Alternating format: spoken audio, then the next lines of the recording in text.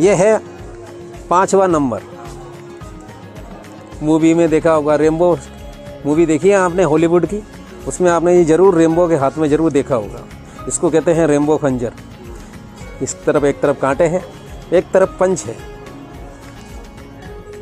मैं भी कुछ एक हॉलीवुड एक्टर ही लग रहा हूँ आपको, लेकिन मैं एक्टर नहीं हूँ। मैं एक शॉपकीपर हूँ।